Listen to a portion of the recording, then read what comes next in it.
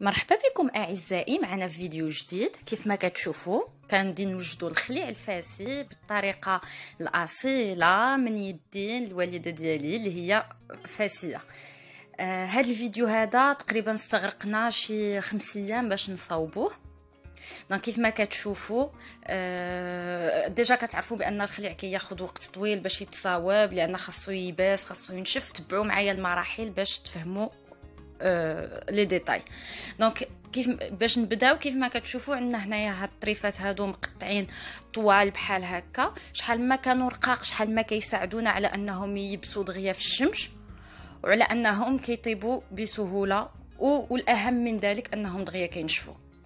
donc قطعنا دوك اللحيمات ونبداو بالتوابل اللي هما جوج معالق كبار القزبر يابس الثومه بقشورها الملحة ثلاثة د المعالق كبار والخل تقريبا ربعة د المعالق د الخل. هادو هما اللي غادي نقددو فيهم غادي نحطوهم فوق داك اللحم.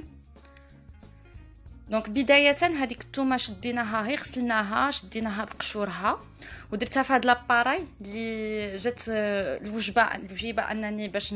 باش نجربها باش نشوف واش هي أصلا فعاله ولا لا donc هاد هاد l'appareil هادي خديتها اللي هي normalement كتفرم اللحم كتفرم القزبر ومعدنوس الثومه البصله donc اليوم جربتها في هاد الثومه اللي بغيت donc الثومه كيف ما كتشوفوا بقشورها غير فرتتناها بهاد l'appareil هادي.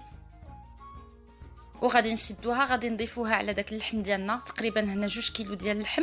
هادوك الطريفات مقطعاهم من الجهه ديال الضلعة من الجهه ديال ديال العنقرة. donc طريفات زوينين. آه هنايا زدت آه القزبور يابس مدقوق والملحة ديالي. وكيف ما غادي تشوفوا حتى الخل ضفناه bien sûr. وغادي نبداو. نخلطو مزيان حتى نتاكدوا بأن كل طرف من داك اللحم خدا الكمية ديالو ديال القزبور اليابس والملحة والخل والثومه غنبقى نعلك نعلك بحال هكا ونخلط.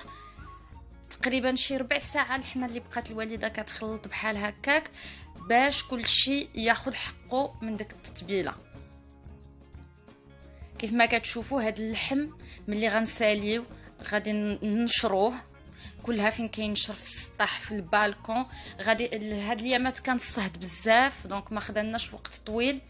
3 أيام اللي خدا لينا ديال ديال الوقت باش نشف. كنا كل نهار كنشرو في النهار يتشمش وفي الليل تنجمعوه ولا يمكن لكم ديروا عليه ميكا تدرقوه ليسونسيال أنه ما يبقاش في السمرة باش ما يعاودش يفزق هنايا من بعد 3 أيام كيف ما كتشوفوا رجعت لقيتو بأنه ناشف يبس. هذه هي هذه هو الطريقة باش بغيتو أنه يكون ناشف على هاد البلا... على هاد الكيفية هذه كيف ما كتشوفوا كيتقطع رقيق وطويل باش كيتنشر القديد. كل نهار كيف ما كنعاودو نقول كنشدوه نشروه نعاودو نجمعوه في الليل إلى ما تنشوفوا بأنه تنقى. آه ملي ما كنشوفوا بأنه نشف.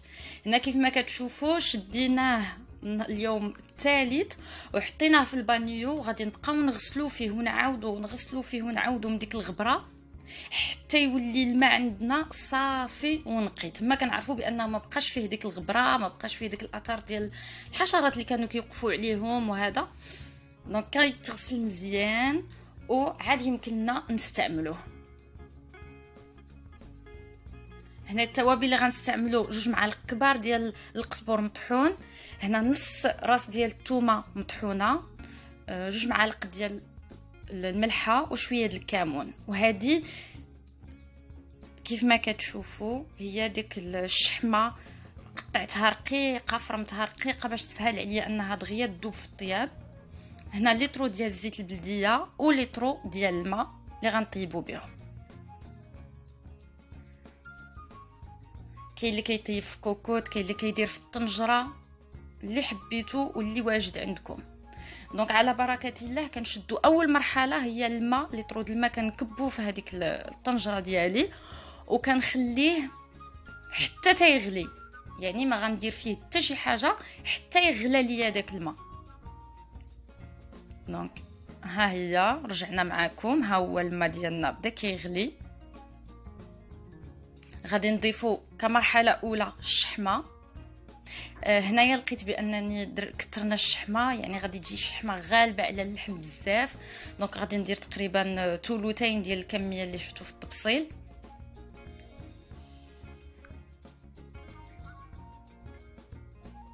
آه، تبعوا معنا المراحل. حتى لاخر الفيديو. هنا غادي نضيف اللحم اللي غسلت مزيان. وقطرتوه شوية وغادي نكبو عاوتاني في الشحمة ديالنا والماء. هنا تقريبا واحد جوج كيلو ديال اللحم. غادي نضيف التوابل ديالي. في المرحلة الأولى غادي نضيف داك نص راس ديال الثومه اللي مطحون. وغادي نضيف الملحة. ردوا البال ما ديروش الملحة بزاف حيت هو déjà مرقد في الملحة. donc ما نكثروش الملحة. وغيبقى لنا هنايا القزبر اليابس مطحون. وشويه الكمون هنايا الكوكوط غادي نسدو عليها 30 دقيقة باش يطيب لنا تقريبا غادي يطيب لنا هذاك اللحم. هنايا رجعنا مور هذيك 30 دقيقة. كيف ما كتشوفوا حلينا لقينا بأن المستوى ديال الماء هبط. غادي نضيفو دابا لترو ديال الزيت البلدية كيف ما كتشوفوا. غادي نضيفو لترو كامل. الزيت البلديه ضروريه تقدروا تستعملوا زيت الرومية ولكن ما غيكونش عند الخليع ديالكم. نفس المذاق اللي كيكون بالزيت البلديه donc voilà لترو كامل. وغادي نضيفو دابا القزبور اليابس. donc شفتوا المرحلة الأولى شنو درنا؟ المرحلة الثانية الزيت والقزبور اليابس. غنحرك واحد شوية. باش يتخلط القزبور اليابس مع مع اللحم الآخر. وغادي نسد على كوكوط عاوتاني 30 دقيقة أخرى.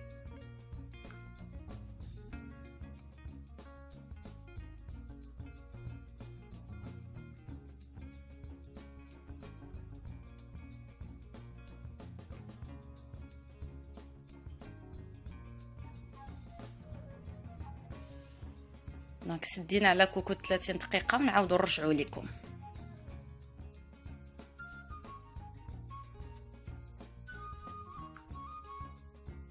من بعد 30 دقيقة رجعنا لقينا بأن هنا خاصني نكون متأكدة بأن ما بقاش فيها الماء.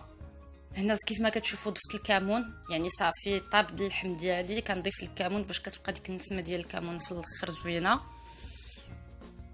هنايا الناس القدام كانوا باش كيتأكدوا بأن ما بقاش فيها الماء كانوا كيديروا فتيلة وكيشعلوها. هنايا شنو إحنا غير الطريقة اللي درنا هي أنها عرينا على كوكوط وخلينا هاد الزيت طبخ باش نتأكدوا بأن هذاك الماء هو اللي تبخر صافي بقى غير الزيت وليدام ديك الشحمة اللي دابت. دونك طفينا على بوطة. وحاجة وحدة علاش خاصنا نتأكدوا بأن ما بقاش فيه الماء لأن لا بقى فيه الماء غيغمى لنا داك الخليع donc ضروري من في الأخر واحد عشرة دقائق نعري الكوكوط ونخليها تبقى هكا كت كتفو كطيب باش داك الماء كيتبخر. هنا برد لينا الخليع ديالنا غادي نعمروه في القريعات. كنبداو بالطريفات ديال اللحم هما الاولى من التحت. عاد كنعمر عليهم هذاك الليدام اللي هو الشحمة والزيت البلدية. كنغطي عليه بليدام ديالو وكنخليه حتى تيتكون داك القشرة البيضاء اللي كتكون من الفوق عاد يمكن لي نسد عليه. لأن الا سديت عليه هو باقي بحال هكا سخون هذاك البخار ديالو كيعاود يرجع ليه وكيغمى لينا. donc خليه واحد شوية عريان بحال هكا حتى تتأكدي بأنه برد عاد كنسد. donc هكا خاصو يولي مسدود عليه باليدام عاد كنسد. وكيتقدم bien sûr مع البيض كنعمرو به الملاوي بالشحمة اللي حبيتو. وبصحة وراحة.